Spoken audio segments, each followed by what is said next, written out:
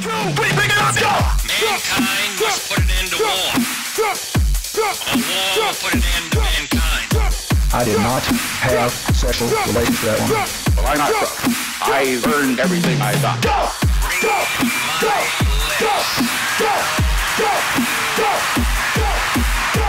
Change will not come if we wait for some other person. Apolitical Radar audience, welcome to another riveting episode of Blind Partisan Podcast. Blind Partisan Show. I got yelled at last time, actually, right? It's supposed to be show because it's all about the YouTube. I, I, I don't know if I buy that, but hey, YouTube, uh, I, I, I recommend audio only. I have a face for radio. So uh, I'm here with uh, Jeff Rumbaugh. That's right. Did I say that correctly? You are. Okay. I you know I, I really wanna I wanna strive to get people's names correctly at the very least. Uh, so you are uh, I it says care for real. So for real, you're running for governor Yeah, that's my uh, that's my campaign slogan. of Wisconsin. Yes. Okay. Uh, I would hope so. I Okay. think I've been touring around Okay. Wisconsin. Okay. Uh, but that's my slogan. I've been caring for adults and adolescents with uh, a wide variety of disabilities. And uh, that's where I've built my campaign on is about caring. And in today's world, uh, fake seems to be a common thread, whereas this is the real thing. Okay. So um, what would be what what would be an example of something that you would bring that would be real that uh, another candidate would not have? Well, as far as uh, my experience goes, it may be a little unorthodox. Um, I'm not a sitting politician or an attorney, but uh, like I said, I've cared for people in very intimate ways for a long time, working with physicians, law enforcement, um, residential services, uh, parents, guardians, teams of people around Dane County. And I see Wisconsin as a larger version of that. And I'm ready to bring A larger version of Dane County. of what I do in Dane County. Oh, okay. Uh, uh, those those kind of cares, that kind of attitude, those kind of lenses that I wear. Yeah. is So what's your background? I can bring. Uh, I graduated from Northern Illinois University uh, in '95 with a degree in history, and it was kind of specializing in African American history. And then I moved up to Madison. I uh, I started working with people with special needs. And then I decided to go to Edgewood College in Madison, where I got my teaching certificate in special education. And since then, I've been uh, working hard in the field of uh, developmental disabilities. So that's uh, that's been my background for almost two decades now. Uh, so, uh, what ins- what inspired you to want to run for governor? Did you do you see things in your background that you're seeing as a, a major need that we have? Good question. Indeed, yes, I do. I mean, I, I feel that uh, the people aren't being cared for. I feel that the uh, politics is drifting further and further away from uh, the needs of the people um, into the arms of the few. And I feel that I represent um, the people more so than a lot of the other candidates. Um, that motivated me. And I also am. Uh, in what way? well, there's there's things that are happening, um, uh, like fresh water, for example. Mhm. Uh, are we seeing the care uh, that needs to go into that uh, to keep people healthy, to keep our society together? And that's something everyone needs. And we're not seeing the kind of attention that needs to be paid to our drinking water. And to me, that's an example of are we really representing the people or are we representing corporate needs or, you know, uh, other things outside of uh, Wisconsin, Wisconsinites, the Badger State? So, is there a problem with our drinking water? Uh, there is. There's uh, there's lead reported in Milwaukee. Um, there's also uh, fecal contamination in some parts of Wisconsin from humans and uh, cattle, but um, we're seeing problems with wells. I was recently in Grant County uh, for a meeting, uh, uh, sanitation, zoning, um, and there were some geologists there uh, talking about wells and where leakage is coming from and uh, disturbances in the freshwater supply. So, in some of the more rural areas, uh, farming and the manure are affecting our freshwater. And then in urban areas like Milwaukee, we're looking at issues with lead, uh, which is the number one environmental hazard to children. So these are some issues that you know truly represent the people. Um, but the lead problems usually get taken care of, don't they? Well, they're not being uh, addressed properly. There's been funding cut recently um, for projects that are happening under uh, Tom Barrett. And in situations like that, uh, I don't think we should be uh, backing out. I think there should be more of an intense focus on things like that. So, Okay. Um, so you're, uh, I, I don't want to uh, belabor the uh, care for real thing, but uh, do you have other examples of care issues that are, you think, lacking? Uh, mentioned water. Yeah. Well, there's also um, food. Is yes, it's a broad term, but what we're looking at is uh, the rusty patched bumblebee uh, is on the uh, endangered species list, and that is a insect that uh, is responsible for pollinating so many of the crops and plants that humans need.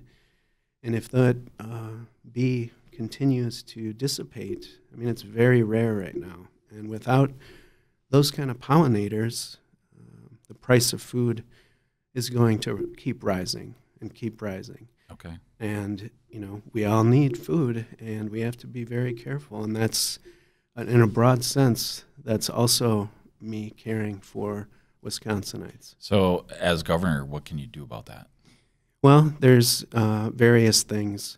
What we're looking at as far as the uh, rusty patched bumblebee goes is uh, we're looking at the use of certain types of pesticides that are uh, the main cause for their uh, for their disappearance and what we call the colony collapse disorder. And the main type of pesticides are called neonicotinoids, and they're actually based off uh, the drug nicotine, the chemical structure. And they're a neurotoxin to these bees. And so we need to work on getting that kind of uh, chemical uh, out of agriculture because that's, uh, you know, the pros and cons there uh, are, um, are such a way that food for humans is uh, a little more important than uh, this type of pesticide. Okay, so in a in a, a state that uh, let's just say fifty percent voted for Trump, how do you feel that you're going to convince them that nicotinoids, Close I'm, enough. which I'm sure I said wrong, and and I think that's my point. Uh, how are you going to convince people that that's an important enough issue to change? Good point. I mean, the uh, you know that kind of topic could easily easily be you know dismissed as you know oh you're you know some kind of tree hugger, you know some kind of granola uh, type of uh, you know approach, but the the way to help bring Wisconsin on board with this issue, uh, especially the GOP vote, is to like I said the the the food.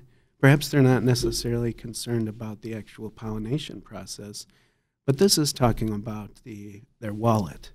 Um, this is talking about all of our wallets. Food is going to cost more money, and that affects everyone. So, if individuals see that their pocketbook is emptying, um, they want to see a solution.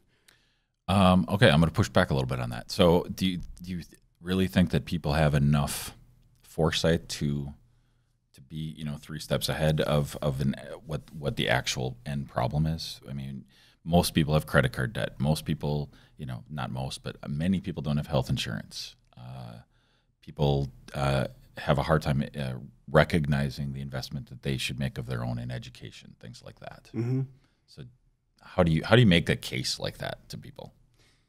That's a good point. I mean, I I want to. Uh, one of the things our campaign is interested in uh, is uh, public education uh, curriculum reform, and this goes back a little uh, further than I think what you're talking about. But as far as curriculum reform, uh, things like this, uh, you know, pollination, for example, need to be introduced to our youth. It's such a critical element of our existence.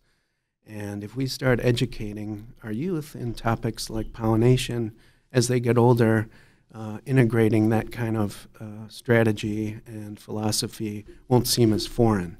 Um, but I do see what you're saying. I mean, it's right away, how do we look at that foresight? And it's, you know, it's the same with our water supply. We're running out of water. How do we convince individuals? And I think uh, knowledge is power. I think it's going to take uh, a widespread um, sharing of knowledge and uh, getting the farmers on board with us.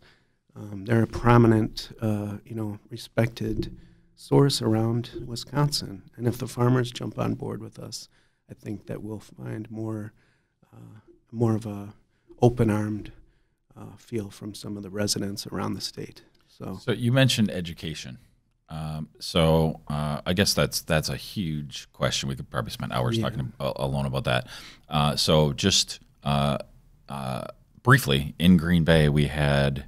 Um, I don't know. It might have been blown out of proportion by some people, but we had uh, we have issues with Washington Middle School, um, where we had a teacher resign because she said that the conditions are violent, and there's been kind of a, a renewed interest in uh, by uh, by by some people anyway, not not enough by our, our school board maybe, uh, to uh, do something to improve what we're perceiving as our inner city schools. Green Bay's tiny, but uh, you know we refer to that as an inner city school now. Uh, so what what do you think you could do on a state level for governor to you know help our our, our troubled schools?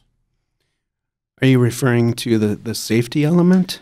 I mean, so I, f- I feel like there I I feel like there's many components to that, but yeah, let's let's touch on safety. What do you think we could do about safety? You know, we did just have the shooting in Florida. Uh-huh. What do you where do you go on that? Yeah, that's uh, that's a subject where I I feel uh, we talked about it, uh, that at a debate recently uh, in Kenosha, and I feel that uh, you know it's like President Obama said about healthcare.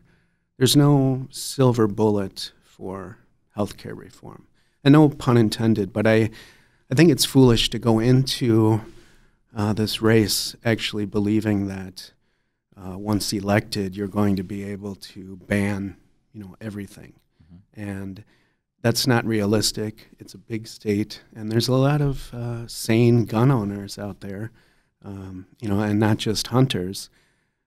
Our approach is something we call agree on three, and it happens to make a kind of a handy uh, hashtag, but we're looking for, uh, you know, uh, a meeting of the minds where agree on three is a three-day waiting period, and the purpose of it is for both sides to acknowledge that there's a problem with safety. It's not taking your guns away, and it's not, uh, you know, both sides aren't getting what they want, but it's just an acknowledgement of the safety issue.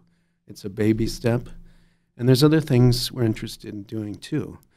Uh, we're interested in legislation, uh, statewide legislation, where gun own, gun shop owners have to go through a background check, and that way we're approaching the vendor versus the buyer. We're also looking to have statewide uh, legislation about gun vendors having to lock their uh, firearms up securely when the store is enclosed. And a couple of those at the end are minor points, but we're looking at baby steps towards helping uh, make society safer, including schools. So I don't own a gun. I've never owned a gun. Um, kids can't buy guns, can they? Well, the individual in Florida was 19 and he was able to purchase Okay. the AR 10. And it seems kind of uh, odd that you can, you know, purchase that kind of weapon but not purchase alcohol. Now, it seems like one is a little more uh, dangerous than I don't the know. I think you'd. I think you'd. ha- Uh, uh, I think you could make a case that uh, there are more deaths caused by alcohol, actually.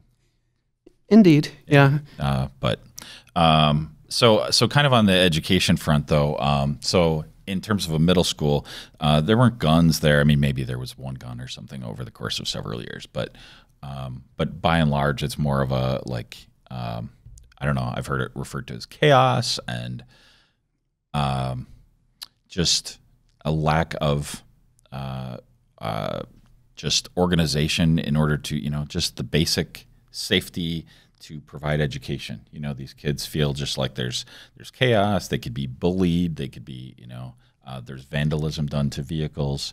And what do you think could be done about like just the basics? Not even getting into like the the fringe cases of uh, you know a 19 year old bringing a gun in. What do we do like day to day to improve education in our state? Well, I think uh, I think we need to stand behind our teachers. Uh, I think that um, considering that uh, the courts, uh, especially in the Milwaukee area, are crowded with cases uh, where parents or guardians are uh, lawyering up and uh, taking legal action against teachers due to um, you know grades that they perceived as being you know inaccurate or unfair. Um, there's also issues of discipline, and these teachers are getting pulled away from their you know potential instruction time and their ability to focus on um, the students, which is why they went into the field. You know, so that's telling our teachers, hey, you know, we have your back. I also believe that, um, you know, since I, I worked for the Madison Metropolitan School District, and when I started there, there wasn't any security. You know, there was somebody at the in the front desk uh, area. There was a receptionist, but other than that, there really wasn't any type of security or you know. Well, mostly the security problems are not people coming in through the front door Yeah. anyway. The problems are inside the school. Okay, so The the not- security not- at the front door doesn't do anything for the day-to-day security But the, the security guard, eventually a security guard was at every school, and now there there was two, and then there was a police officer there every day. And I think um, not just somebody at the door, but going around the school and being you know around the students and helping to keep uh, you know bullying or fighting and things like that at bay. Um, uh, So you mentioned that that was done in Madison at the district level. So do you think that that's a state issue, or do you think that that's a local issue?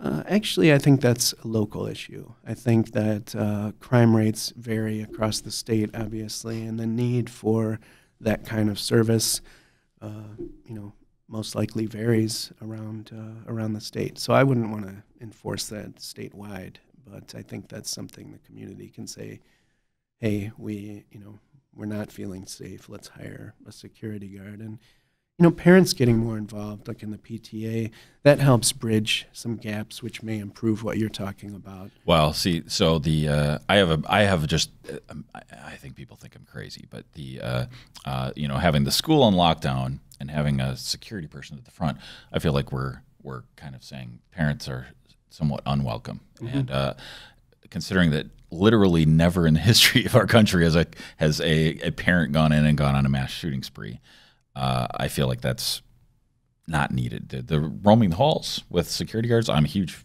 hugely in favor of that.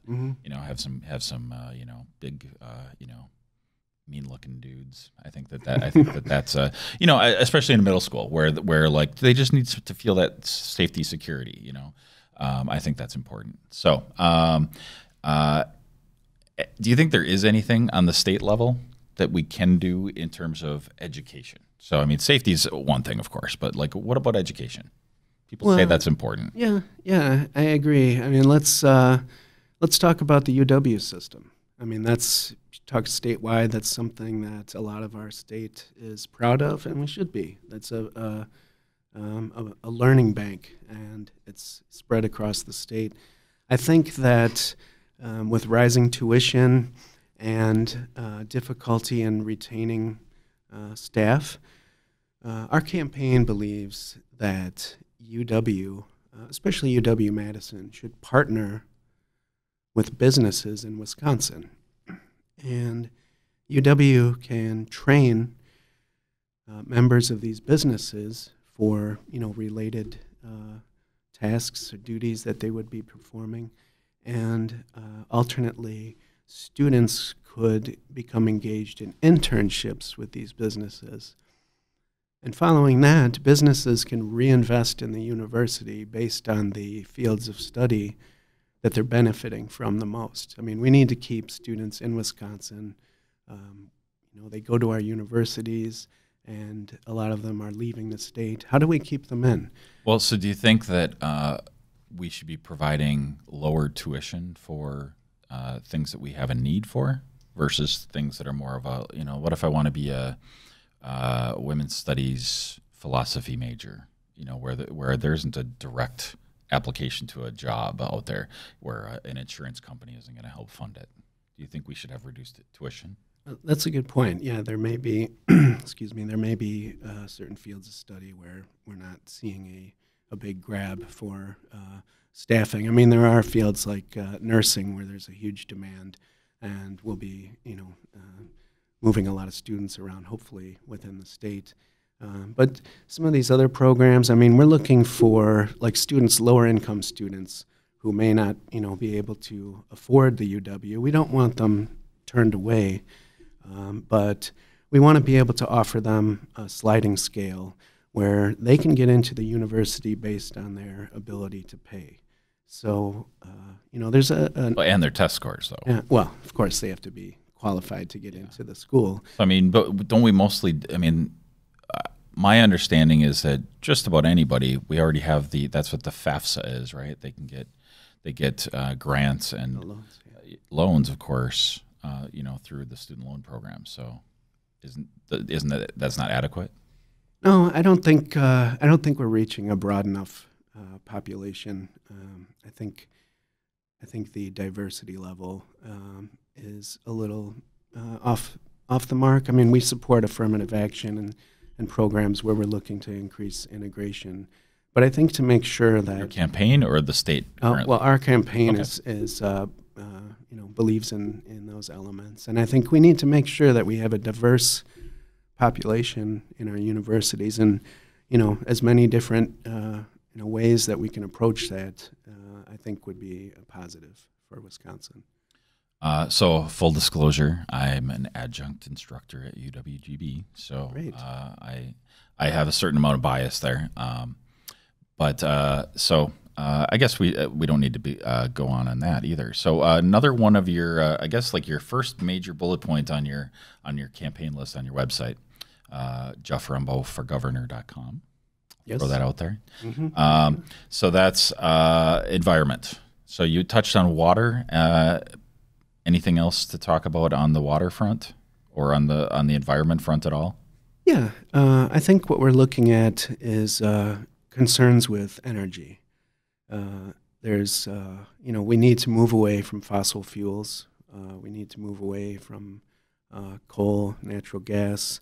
Um, we're looking at banning fracking, but uh, the storage of electricity is the big challenge right now. Um, we're able to generate electricity, but on days when there's or you know weeks where there's a lot of cloud cover or we're seeing an extended period of you know little to no wind um, those those green alternatives aren't able to provide the kind of energy that we need and that's when the you know the coal and gas turbines kick in so if we can find a way to store electricity um, within the state i think that would be uh, a, a prime uh, investment. I mean, we're seeing things like that with Tesla.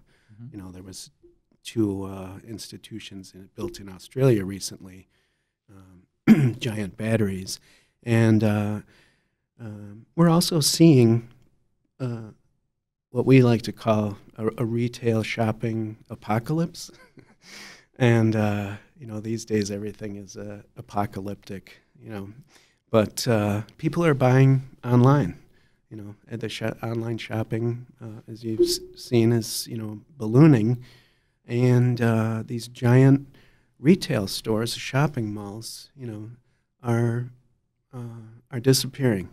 See a lot of stores like Sears and Toys R Us. Um, those stores are, are uh, J.C. Penney. Um, retailers aren't seeing the profit there anymore, and their revenues coming in online. So having those kind of venues, uh, stores, isn't profitable anymore, and eventually. Um, the stores are all going to move out of those malls. What do we do with those malls? Mhm. Huge, you know, paved areas, um, structure attached to sewer and, and, and electricity. Uh, our campaign proposes that we transform these shopping malls into energy stations where we're looking at either uh, the transmission of energy, the storage, uh, the creation. You know, imagine uh, your local shopping mall covered in solar panels. Mhm. Um, you know, we'd have to gut the interiors of these, and, and we don't want anyone to lose their jobs, but uh, they're going to lose their jobs uh, anyway. And if we can bring them back into the green field, uh, we believe green energy companies will be attracted by these already developed areas that they can get for cheap. And hopefully we can, you know, um, uh, promote those ideas. So uh, you mentioned the the retail green energy. Well, Walmart does a lot of that already on their new constructions. They have a lot of solar. They have natural lighting. Um, so I think that that's reasonable. But you mentioned uh, some of the closed down retail centers and shopping malls. Uh, are you thinking the state's going to buy those, or how does the state get involved in that? Well, I think uh, there's zoning issues that the state will be involved in, um, and certainly, you know, uh, s- sanitation. Mhm. Um, but uh, I think we want to bring in uh, companies. Like I mentioned, we want green industries to come in and, uh, you know, uh, take over that, uh, develop their businesses on that land, not state-run uh, utilities, but we want to bring in private investors and help create jobs and, and make up for that workforce that was uh, within the retail market. Okay, so uh, they're giving me the we got we got to get going symbol. So um, uh, I guess I kind of want to rapid fire these a little bit. Sure. Um, so as a major bullet point, you have uh, recycling, packaging, and waste. One sentence answer. we need to move away from plastic. Okay. I don't think anybody can argue with that. I don't know exactly what the state can do, but I think everybody should kind of be there. Uh, Planned Parenthood. Uh, our campaign is is fully in favor of Planned Parenthood. We Paying the state paying to support it.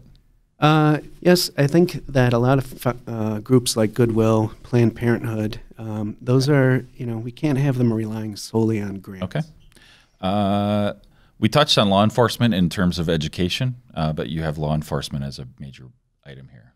What are your thoughts on law enforcement? Uh, I think law enforcement needs to be uh, trained in mental health issues.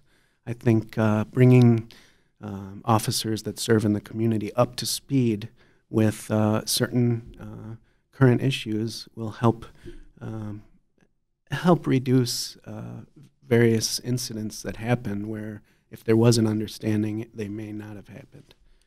Uh, okay. Here, so here's a, a, softball. I think it should be a softball for everybody at this point, but uh, marijuana is one of your bullet points. Yeah, we feel strongly that uh, marijuana should be uh, decriminalized across the board, uh, recreationally. Uh, I know recently hemp was brought into the fold, but it's it's going to be an important source of revenue for the state. It's going to help create jobs, and there's a lot of individuals who truly, you know, uh, need access to that um, for medical reasons. So specifically, as governor, what would you do? regarding marijuana. Well, there's a lot of. I've already been contacted a lot on the internet from companies that see that I, we're in favor of that, and I think we can attract uh, business and investment from uh, from that part of Wisconsin. That's going to become part of our agricultural scene, and uh, there's you know elements of distribution. Um, there's elements of uh, the whole growth process. Uh, there's there's lots of different venues for employment and economic growth uh, within you know the uh, the legalization of, of marijuana. And so, uh, states out west are, are struggling with some of this. Um, so, what do you do with uh, all of the uh, people who are locked up currently for marijuana infractions? That's a major issue. Uh, I know one of my uh, competitors has said that he would pardon all people that are in jail right now for marijuana offenses.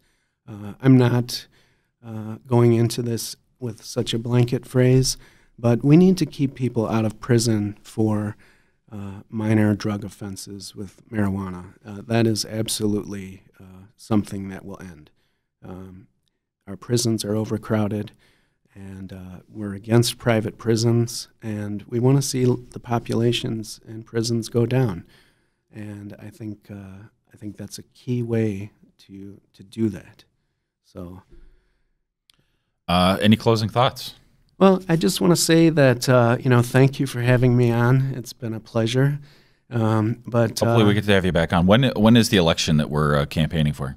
Well, we're looking at uh, we're looking at the election is on November 9th um, for the gubernatorial Of this year? Yeah, 2018. I don't feel like people are talking about it. Well, well, it's still you know it's a, a broad field, and I think some people, you know, I've been to of, uh, debates where some people say, "Ah, there's just too many people running, but then I've been you know heard alternately people saying this is wonderful. We have this breadth of personalities to choose from, and I think that's great for Wisconsin. I mean, we have a sign of a healthy democracy here. Um, being able to have that many uh, candidates. I'm someone who genuinely cares about the people. I'm someone who will bring a new attitude and a new perspective to the state of Wisconsin.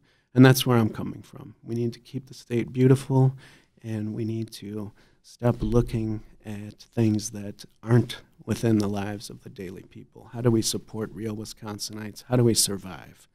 This election's about survival. I think that's a good way to, place to leave it. Uh, all right, that wraps up our uh, blind partisan with Jeff Rumbaugh. Again, if you want to get some more information on Jeff Rumbaugh for governor, go to jeffrumbaughforgovernor.com.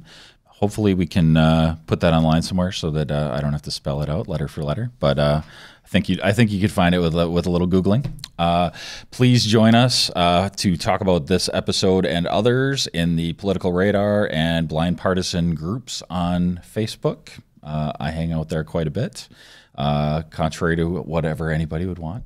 Uh, and of course, uh, please subscribe on YouTube to the show in the Political Radar channel. Please subscribe on iTunes and anywhere else that you can get uh, podcasts. Goodbye.